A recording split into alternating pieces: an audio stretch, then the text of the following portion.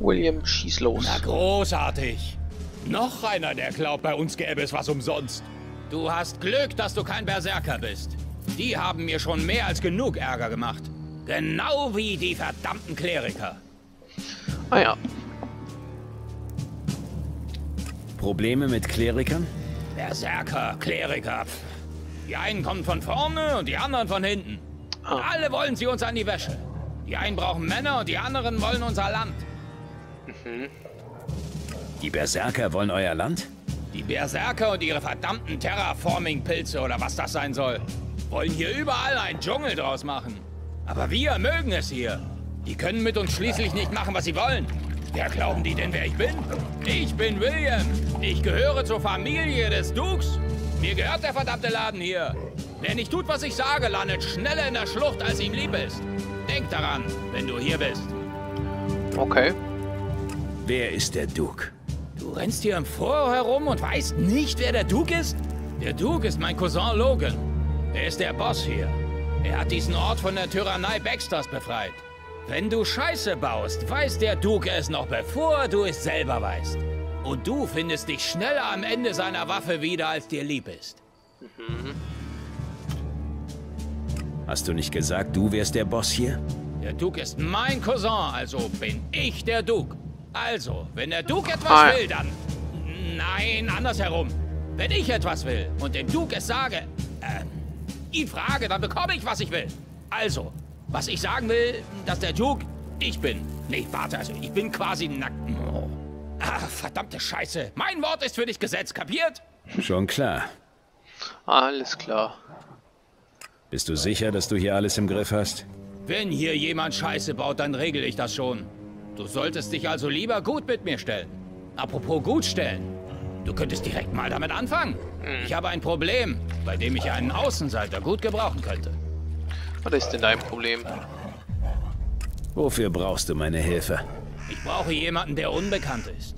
Jemand, den die Hauptmänner hier im Lager nicht auf dem Radar haben. Einige der Hauptmänner sind unzufrieden. Und ich brauche jemanden, der sich darum kümmert. Wegen der Hauptmänner. Wer sind sie? Es geht um Big Jim, den momentanen Meister der Arena.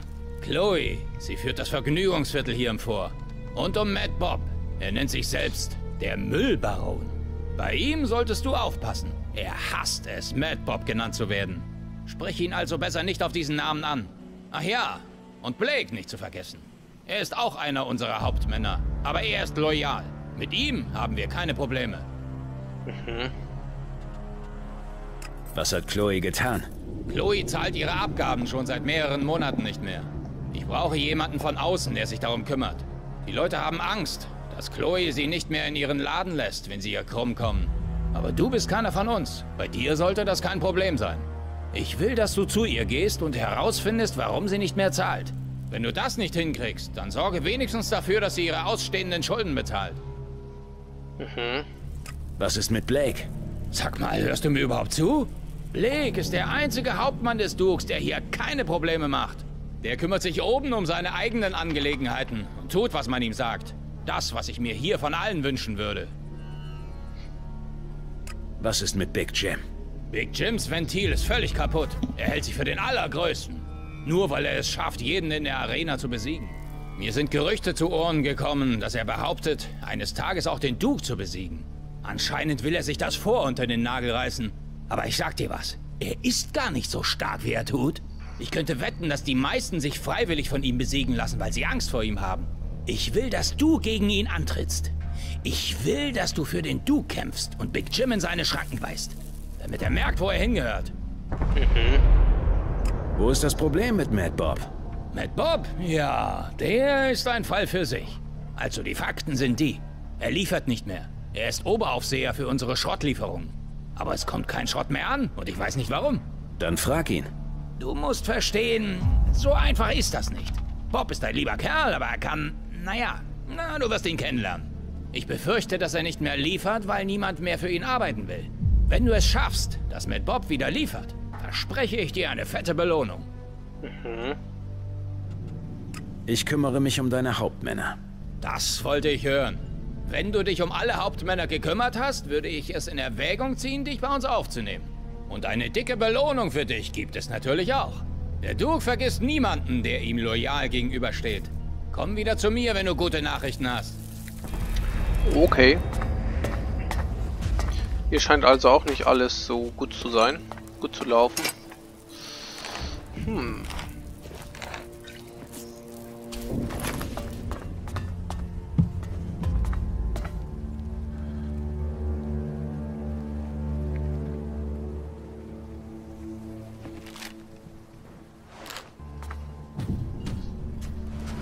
Okay, warum interessiert sich das nicht so? Hm. Ich mag neugieriges Pack nicht. Ach, jetzt hast du es mitbekommen. Alles klar. Ja, lauf nur. Was steht in dem Brief über, zu, über Baxter? Hm, hm, hm. Brief über Baxter.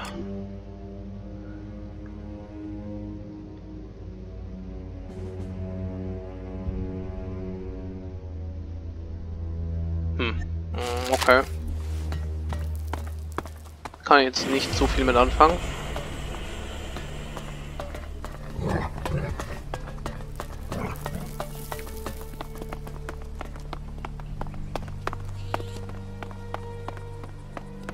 Willst du wissen, was ich im Müll gefunden habe? Nein, du findest doch nie etwas Brauchbares. Jetzt siehst dir doch mal an. Auf dem Ding steht was drauf. Ich erkenne ein Q, ein U und ein Y. Stark, oder? Vielleicht ist das ein Code oder so.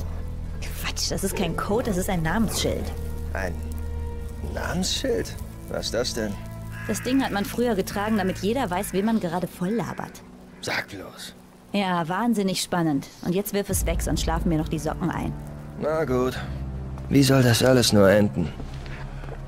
Nimm das nicht persönlich. Hm, wo gehen wir denn jetzt hin? Davor bekommt man ja Angst.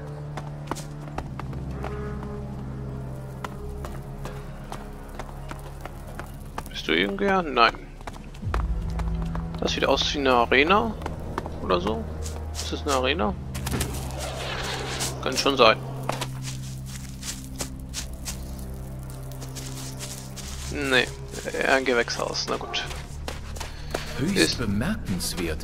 Eine aus Stahl und Aluminium bestehende Metallkonstruktion. Meiner bescheidenen Meinung nach muss einst versucht worden sein, ein von der Außenwelt unabhängiges und sich selbst erhaltenes Ökosystem zu schaffen. Das sieht ganz so aus.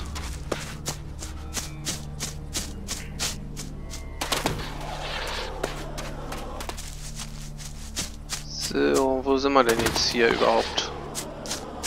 Ich habe keinen Schimmer.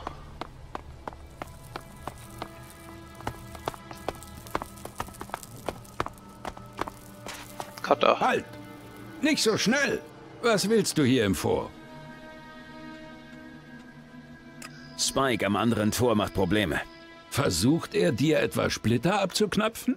Ja, Er war ein Handlanger von Baxter und wird vom Duke nur geduldet. Niemand hier will sich mit ihm anlegen. Nicht einmal William unternimmt etwas gegen ihn.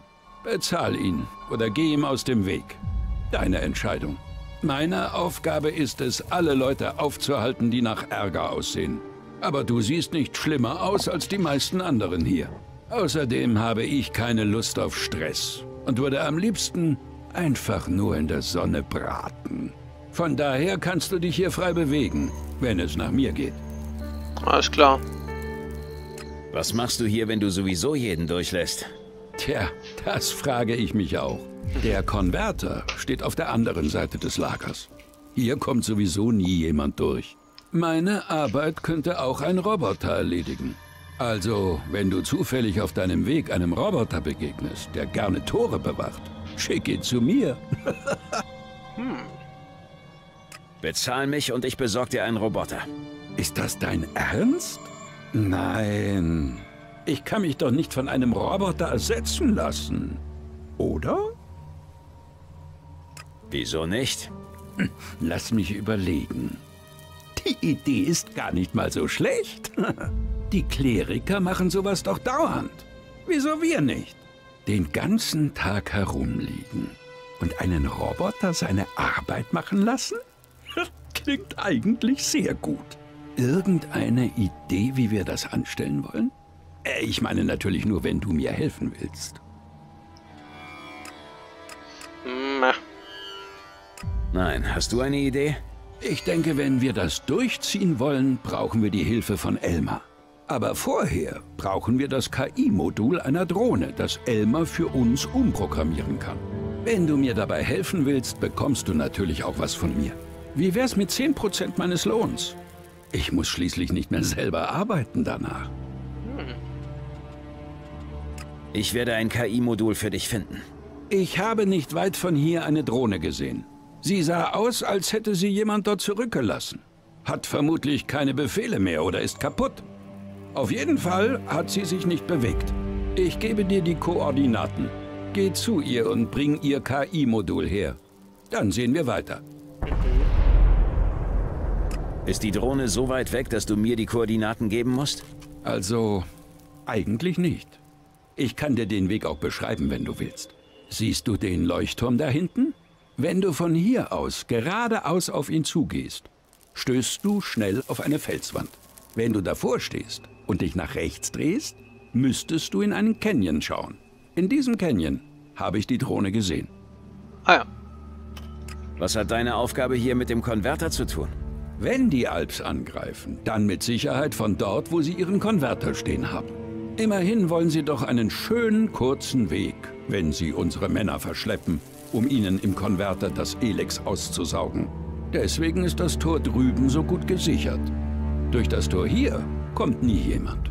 Fast schon sinnlos, es zu bewachen. Wie gesagt, eigentlich die Aufgabe eines Roboters. Was gibt es hier im Fort zu sehen? Das Fort ist in vier Bezirke unterteilt. Es gibt das Vergnügungsviertel, das wird von Chloe geleitet. Das Schrottviertel wird von Mad Bob überwacht. Geht ihm besser aus dem Weg, der spinnt irgendwie. Das Kämpferviertel gehört zu Blake oder war es Big Jim?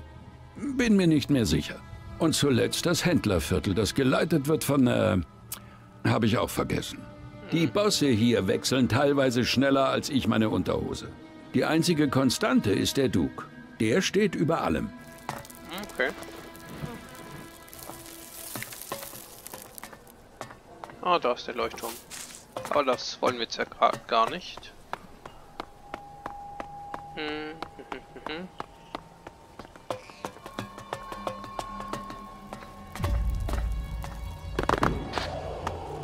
Dann schauen wir mal weiter.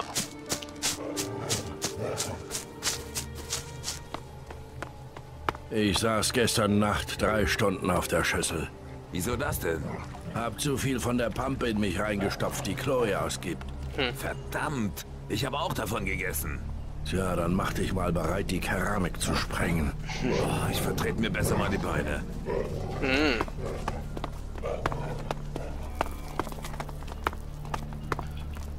So. Das Vieh gestern hätte mir fast den Arsch aufgerissen. Orten wie Besser einen guten Freund verlieren als einen guten Witz. abgewinnen. Die Sache stinkt doch. Das Glück ist mit den Dummen. Das macht euch ein bisschen Meine nervös, ne? Stiefel riechen vielleicht. Pass das nächste Mal etwas besser auf, klar? Nee, ist Wenn klar. hier noch jemand rausspaziert, ohne zu Eine bezahlen, Gelegenheit darf man nicht zieh ich ziehen dir das lassen. von deinem Lohn ab. Ich hab die Scheiße so satt. Ach, Chloe. Was kann ich gegen dich tun? Gibt es ein Problem? Kein Problem. Wenn du etwas kaufen willst, komm zu mir. Bei allem anderen sprich mit Chloe. Was habt ihr anzubieten? Alles, was deine Sinne benebelt. Alkohol, Stims, nur kein Elex. Der Trip von dem Zeug ist echt scheiße. Sag mal, was du anzubieten hast. Kein Problem. Manu. Was ist denn hier los? Fast eh nix. Du musst nicht alles glauben, was man so rum erzählt. So, Chloe.